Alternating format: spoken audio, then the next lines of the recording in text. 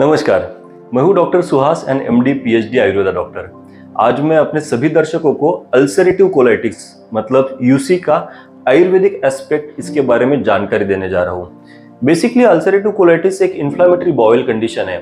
IBD के दो parts में डिवीज़न होते हैं। एक है क्रॉन्स डिज़ीज़ दूसरा है अल्सरेटिव कोलाइटिस। जिस भी पेशेंट को बार बार मोशन आता है, वो भी लूज मोशन आता है डायरियाटिक स्टूल आता है, उसके साथ फ्रेश ब्लड पास होता है। समटाइम्स म्यूकस पास होता है, उस व्यक्ति को एबडोमन पेन रहता है और उस व्यक्ति के एब्डोमन रीजन में बर्निंग सेंसेशन रहती है और उसका सडन वेट लॉस होता है। ये कुछ मेजर सिम्टम्स है अल्सरेटिव कोलाइटिस के।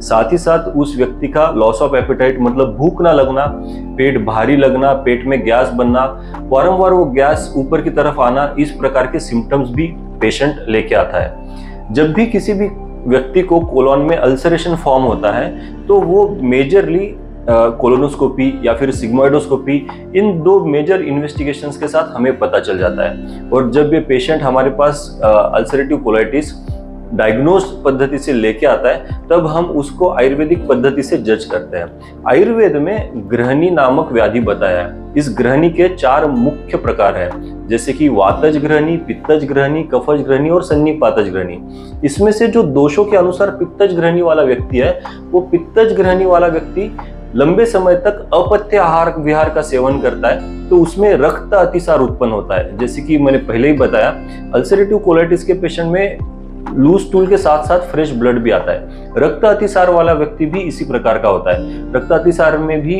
उस व्यक्ति को मोशन के साथ, अतिसार के साथ रक्त का बाहर निर्मूलन होता रहता है। इस प्रकार का रक्तातिसार का व्यक्ति हम अल्सरेटिव कोलाइटिस के समान मान सकते हैं। देखिए, आयुर्वेद दोष, दुष्य की समूर्छना से जाना जाता है।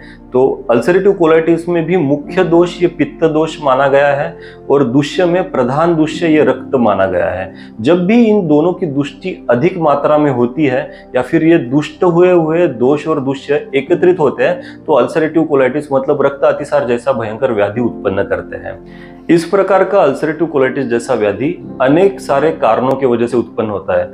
जैसे कि इंडिया में ये डे बाय डे इंक्रीज हो रहा है, इसका प्रिवेलेंस बहुत बढ़ रहा है। और खास करके नॉर्दर्न इंडिया में because of unhealthy lifestyle and bad dietary habits की वजह से।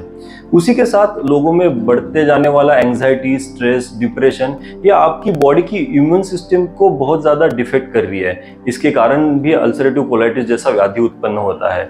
आयुर्वेद इसी प्रकार से देखता है। आयुर्वेद में मुख्यतः अग्नि मतलब आपका डाइजेस्टिव फायर इसके ऊपर जो कुछ भी आप कारण सेवन करते हो मतलब कॉजेस रहते हैं या फिर रीजंस है, उसके कारण आपका अग्नि का संदुक्षण हो जाता है। अग्नि खराब होना शुरू हो जाता है और उसके कारण अल्सरेटिव कोलाइटिस जैसी बीमारी उत्पन्न हो जाती है। उसमें बेसिकली जैसे बताया है बहुत सारे आयुर्वेदिक क्लासिकल टेस्ट में अभोजनात् मतलब अन्न का बिल्कुल भी सेवन ना करना अति भोजनात् बहुत ज़्यादा पेट भर के अन्न का सेवन करना अजीर्ण मतलब इनडाइजेशन या फिर असात्म्य भोजन अनहोलसम डाइट का सेवन करना आ, साथ ही साथ विरुद्ध आहार का सेवन जैसे कि फ़िश और दूध का एकत्रित सेवन करना, इस प्रकार का आहार का सेवन करना, वारंवार वेगावरोध करना मतलब अपने अर्जेस सप्रेस करना, इस प्रकार की सारी कॉजेस अल्सरेटिव कोलाइटिस जैसा व्याधि उत्पन्न करती है। आचार्यों ने बड़ा स्पष्ट तरीके से बताया गया है कि किसी भी व्यक्ति को अगर पित्तज ग्रहणी की दृष्टि होती है और उस पित्तज ग्रहणी में अगर आपका अग्नि अधिक ज़्यादा खराब हुआ है, उस अवस्था में कोई भी व्यक्ति अपथ्यकर आहार का सेवन करता है। मतलब किसी भी प्रकार से वो उष्ण, तीक्ष्ण मतलब बहुत ज़्यादा स्पाइसी फ़ूड हॉट फ़ूड इस प्रकार का बार बार सेवन करना शुरू करता है, उस व्यक्ति में आप का रक्त अतिसार उत्पन्न होना मतलब अल्सरेटिव कोलाइटिस उत्पन्न होने के चांसेस सबसे ज़्यादा है। उस व्यक्ति में फ्रेश ब्लड का डिफिकेशन के साथ बार बार निकलना, ये सबसे मुख्य लक्षण हमें उत्पन्न मिलता है। और हमें पता भी चलता है कि इसी के साथ आयुर्वेद में कि हमें रूट कॉज का या फिर रूट पता चल जाता है कि अग्नि मतलब आपका डाइजेस्टिव पावर ये अल्सरेटिव कोलाइटिस का रूट कॉज है। उसको हमें ठीक करना होता है। इसी प्रकार से मैं आपको अपने अगले वीडियोज़ में अल्सरेटिव कोलाइटिस की आयुर्वेद पद्धति से कौन से हर्ब्स का इस्तेमाल किया जाता है अल्सरेटिव कोलाइटिस की पंचकर्मा के तहत, पंचकर्मा पद्धति के तहत किस प्रकार से लाइन ऑफ़ ट्रीटमेंट होती है और आयुर्वेद में अल्सरेटिव कोलाइटिस का कैसे समूल नाश किया जाता है, इसके बारे में जानकारी देने जा रहा हूँ। तो आप सभी लोग मेरे साथ इसी तरीके से जुड़े रहिए और मेरे अगली वीडियो में जानिए आयुर्वेदिक चिकित्सा पद्धति फॉर अल्सरेटिव कोलाइटिस धन्यवाद।